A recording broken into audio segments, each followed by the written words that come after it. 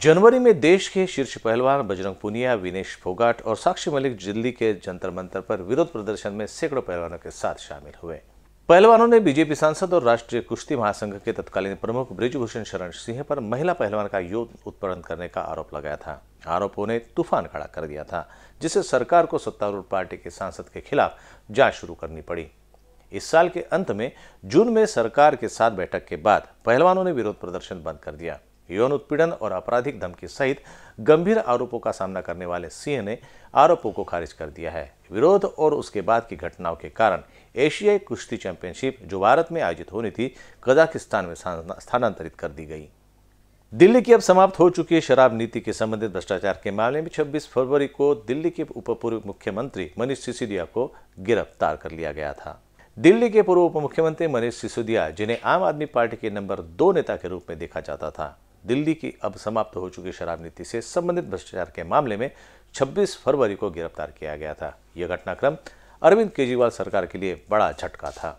इससे पहले आपके वरिष्ठ नेता सत्येंद्र जैन को भ्रष्टाचार के एक मामले में गिरफ़्तार किया गया था। बाद में अक्टूबर में आप सांसद संजय सिंह को भी गिरफ़्तार कर लिया गया था। श्री सिसोदिया ने अपने खिलाफ आरोपों को खारिज कर दिया है और भाजपा के नेतृत्व वाली केंद्र सरकार पर राजनीतिक कारणों से उन्हें निशाना बनाने का आरोप लगाया है। वे जमानत के लिए अदालतों का दरवाज़ा खटखटा रहे हैं, लेकिन अब तक उन्हें कोई राहत नहीं मिली है। भारतीय जनता पार्टी ने मार्च में त्रिपुरा में चुनाव जीतकर और मेघालय तथा नागालैंड में सत्तारूढ़ गठबंधन में शामिल होकर पूर्वोत्तर में अपना प्रभाव मज़बूत किया। त्रिपुरा चुनावों में पूर्व कांग्रेस नेता और पूर्व शाही प्रद्योत विक्रम माणिक्य देववर्मा के नेतृत्व वाली आदिवासी पार्टी टिपरा मोथा का भी उदय हुआ। कांग्रेस नेता राहुल गांधी को मार्च में एक सांसद के रूप में अयोग्य घोषित कर दिया गया था, जब गुजरात की एक अदालत ने उन्हें मोदी उपनाम पर उनकी टिप्पणी के लिए मानहानि मामले में दोषी ठहराया था।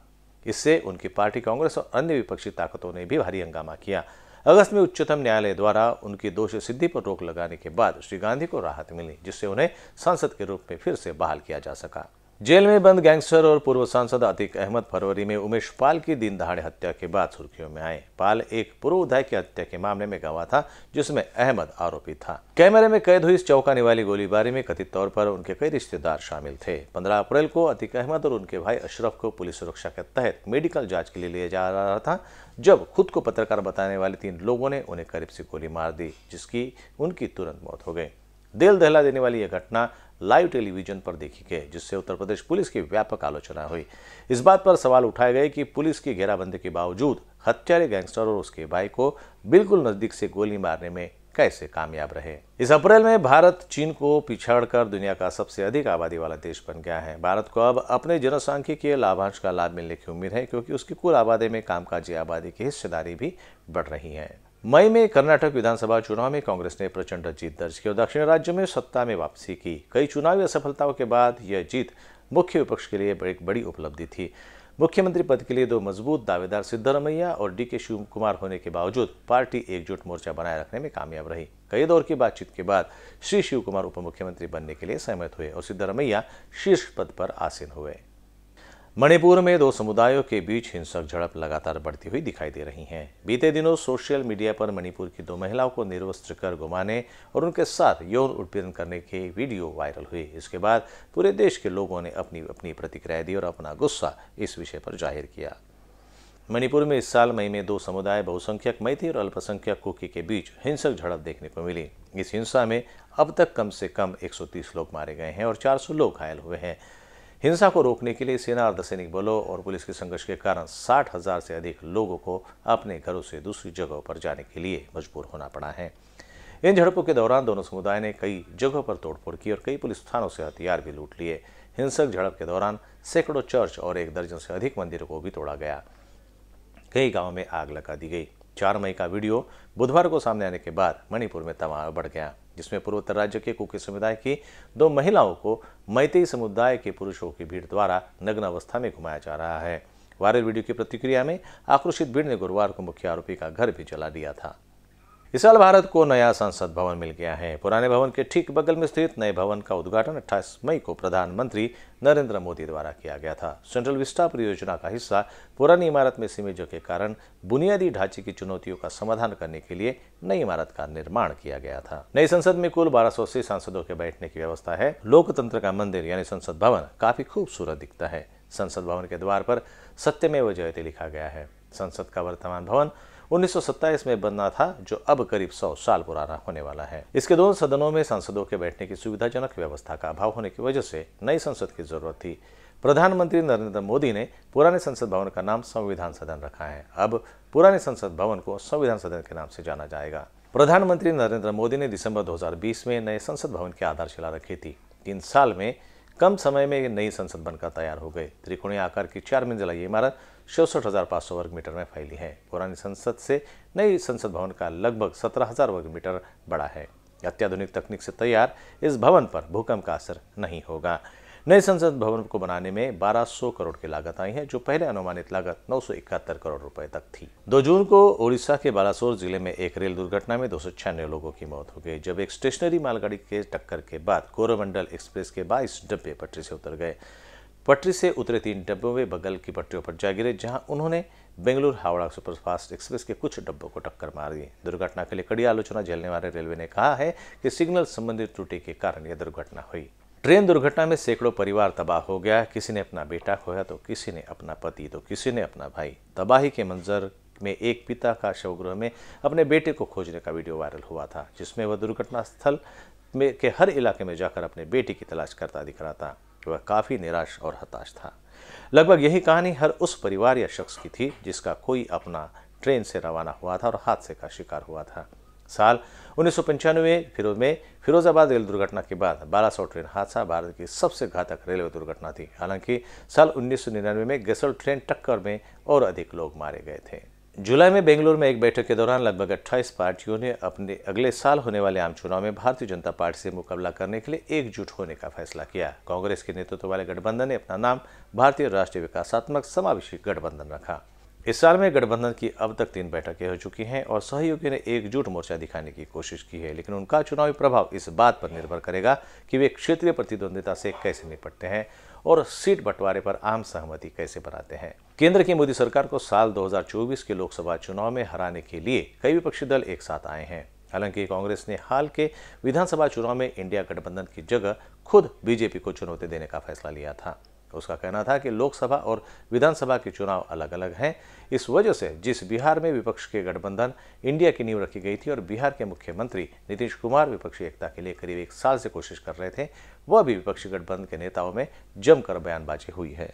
भारत चंद्रमा पर उतरने वाला चौथा और चंद्रमा के दक्षिणी ध्रुव पर अंतरिक्ष यान उतारने वाला पहला देश बन गया। चंद्रयान तीन की सफलता का देश भर में जश्न मनाया गया। प्रधानमंत्री मोदी ने भारत के चंद्रमा पर उतरने के इस सदी के सबसे प्रेरणादायक क्षणों में से एक बताया है। भारत को चाँद पर सफलता मिल गई है। चंद्रयान तीन ने चाँद की सतह पर उतरकर इतिहास रच दिया है। चंद्रमा के दक्षिणी ध्रुव पर सफलतापूर्वक उतरने वाला भारत पहला देश बन गया है। चंद्रमा पर विक्रम लैंडर की सॉफ्ट लैंडिंग के बाद प्रज्ञान रोवर उसमें से निकलेगा और चंद्रमा की सतह पर घूमकर शोध करेगा और जानकारी जुटाएगा। चौदह जुलाई को दोपहर दो बजकर पैंतीस मिनट बजे श्रीहरिकोटा से उड़ान भरने वाले चंद्रयान तीन ने अपनी 40 दिनों की लंबी यात्रा पूरी की। इसरो के बताए गए विवरण के मुताबिक चंद्रयान तीन के लिए मुख्य रूप से तीन उद्देश्य निर्धारित किए गए थे। चंद्रमा के दक्षिणी ध्रुव पर लैंडर की सॉफ्ट लैंडिंग कराना, चंद्रमा की सतह कही जाने वाली रेजोलिथ पर लैंडर को उतारना और घुमाना, लैंडर रोवर से चंद्रमा की सतह पर शोध करना। 9 से 10 सितंबर को जी ट्वेंटी शिखर सम्मेलन के दौरान भारत दुनिया भर के नेताओं की मेजबानी कर रहा था। इसलिए दिल्ली को बेहतरीन तरीके से सजाया गया था, सड़कों को सजाया गया था फवारे लगा गए और फुटपाथों को नया रूप दिया गया, क्योंकि बड़ी बैठक से पहले राष्ट्रीय राजधानी का कायाकल्प किया गया। शिखर सम्मेलन के प्रमुख परिणामों में अफ्रीकी संघ को समूह में शामिल करना था। वैश्विक जैव ईंधन गठबंधन, टिकाऊ जैव ईंधन को अपनाने की दिशा में एक कदम भी लॉन्च किया गया था। भारत के लिए बड़ी उपलब्धि भारत खाड़ी देशों और यूरोप को जोड़ने वाले आर्थिक गलियारे पर समझौता था। वर्ष 2023 में भारत में जी ट्वेंटी ग्रुप की अलग अलग शहरों में अलग अलग समिट चलाई गई।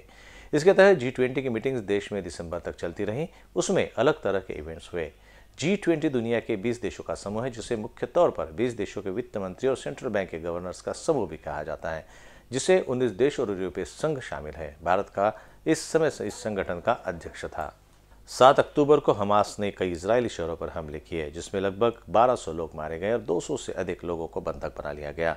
इसराइल ने कड़ा जवाब देते हुए संकीर्ण गाजा पट्टी, जो हमास का गढ़ है, इस पर बमबारी की। जैसे जैसे युद्ध बढ़ता जा रहा है, लगभग 20 लाख लोगों की आबादी वाले गाजा पट्टी में इसराइल की क्रूर जवाबी कार्रवाई की वैश्विक निंदा हो रही है। अनुमान के मुताबिक गाजा में अठारह हज़ार से ज़्यादा लोग मारे गए हैं और 10 लाख से ज़्यादा लोग विस्थापित हुए हैं। इसराइल ने सात अक्टूबर को नागरिकों को निशाना बनाकर किए गए आतंकवादी हमलों का हवाला देते हुए अपनी कार्रवाई को उचित ठहराया है। युद्ध विराम समझौते के तहत अब तक हमास द्वारा बंधक बनाए गए सौ से अधिक लोगों को रिहा कर दिया गया है, लेकिन युद्ध अभी तक खत्म नहीं हुआ है। 17 अक्टूबर को समलैंगिक जोड़े, तब निराश हुए जब सुप्रीम कोर्ट ने समलैंगिक विवाह को वैध बनाने पर रोक लगा दी। इस मामले में पाँच न्यायाधीशों की संविधान पीठ ने विषय की जटिलता को दर्शाते हुए चार अलग अलग फैसले सुनाए। हालाँकि फैसला सिद्धांतिक रूप से विवाह समानता के विरोध पर आधारित नहीं था, बल्कि मुख्य रूप से न्यायिक कानून की चिंताओं पर आधारित था। सभी न्यायाधीश इस बात पर सहमत हुए कि विचित्र जोड़े न तो शहरी है, न ही संभ्रांतवादी। इन पंक्तियों पर केंद्र के एक तर्क को खारिज कर दिया गया। उन्होंने एक पैनल के सरकार के प्रस्ताव को स्वीकार कर लिया, जो समान लिंग वाले जोड़ों के सामने आने वाली व्यवहारिक समस्याओं पर गौर करेगा। इस साल पुरुष क्रिकेट विश्व कप में भारत ने शानदार प्रदर्शन किया और लगातार 11 मैच में अजय रहा। हालाँकि हमारा विश्व कप अभियान निराशा में समाप्त हुआ। फाइनल में नीले रंग की टीम पर हावी होने के बाद ऑस्ट्रेलिया ने ट्रॉफी अपने घर ले गई। इस वर्ल्ड कप में दिल तो टूटा, लेकिन कई ऐसे पल भी आए जिन्होंने दिल भी जीत लिया। इस विश्व कप में भारतीय टीम का हरफन मौला प्रदर्शन देखने को मिला। विश्व कप में लगातार अच्छे प्रदर्शन के लिए विराट कोहली को मैन ऑफ़ द टूर्नामेंट घोषित किया गया और तो वहीं इस दिग्गज बल्लेबाज ने महान बल्लेबाज सचिन तेंदुलकर के सर्वाधिक वनडे शतकों के रिकॉर्ड को भी तोड़ दिया। गेंदबाजी के मोर्चे पर भारत के मोहम्मद शमी टूर्नामेंट में सबसे ज़्यादा विकेट लेने वाले गेंदबाज बनकर उभरे। 12 नवंबर को जब देश दिवाली मनाने के लिए जगमगा रहा था, उत्तराखंड के उत्तराकाशी ज़िले में एक निर्माणाधीन सुरंग के अंदर इकतालीस निर्माण श्रमिक फंस गए थे। उसके बाद हिमालय क्षेत्र में एक लंबा और चुनौतीपूर्ण बचाव अभियान चला।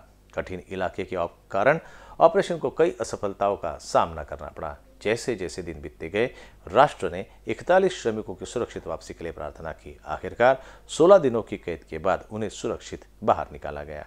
दिसंबर की शुरुआत में भारतीय जनता पार्टी ने मध्य प्रदेश, राजस्थान और छत्तीसगढ़ में विधानसभा चुनाव में जीत हासिल की। कांग्रेस, जिसे इन राज्यों में बेहतर प्रदर्शन की उम्मीद थी, को तेलंगाना में अपनी एकमात्र जीत में सांत्वना ढूंढनी पड़ी। इन चुनाव को अगले साल होने वाले लोकसभा चुनाव के सेमीफाइनल के तौर पर देखा जा रहा था। इन चुनाव के खत्म होने के साथ ही अब बड़ी लड़ाई के लिए मंच तैयार हो गया है।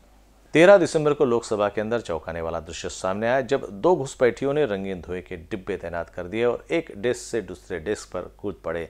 जल्द ही उन पर काबू पा लिया गया और उन्हें गिरफ़्तार कर लिया गया। साथ ही उनके दो सहयोगियों को भी गिरफ़्तार कर लिया गया था, जिन्होंने बाहर रंगीन धुएँ का इस्तेमाल किया था।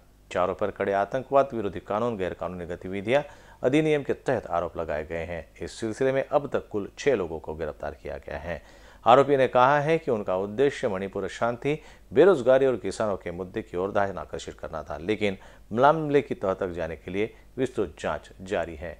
जैसे जैसे साल खत्म हो रहा है और हम 2024 में जाने के लिए तैयार हो रहे हैं, यहाँ 2023 की उन घटनाओं पर एक नज़र थी, जिन्होंने देश और दुनिया के लिए बड़ी सुर्खियाँ बटोरी। इस तरह दिलचस्प खबरों को देखने के लिए आप देखते रहिए इनविशन न्यूज़। इनविशन के तमाम दर्शकों को आने वाले 2024 साल के लिए बहुत बहुत शुभकामनाएँ। नमस्कार